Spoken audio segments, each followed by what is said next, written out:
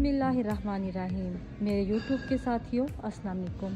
मैं ज़रा ये आपके साथ छोटी छोटी चीज़ें भी शेयर करना चाहती हूँ। ये देखें, जैसे ये चीज़ें प्राइस पे लगे हों तो उस वक्त आप इकट्ठे खरीद के रख लीजिए बिल्कुल जैसे ये मेरी तरह।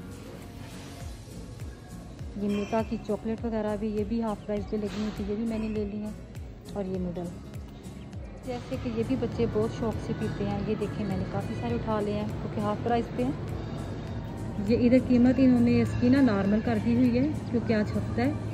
सुबह छुट्टी है, बंद है सब कुछ तो वो अपनी सेटिंग जो उनसे है ना, वो भी से शुरू कर दी उन्होंने करनी है। रात का टाइम है ना। ये देखें जी एंड में मतलब ये निकला कि ये हंड्रेड की चीज़ें थी, पर मैं फिफ्टी में लेके आई हूँ। तो मैंने फिफ्टी यूरो बचाए हैं। इसी तरह से ये बटर भी बहुत ज़्यादा इस्तेमाल होता है। ये देखें, ये भी मैं, ये मैं पहले घर छोड़ दी थी। ये भी। तो ये भी की मैंने बचत। नेक्स्ट वीडियो तक अल्लाह हाफिज़।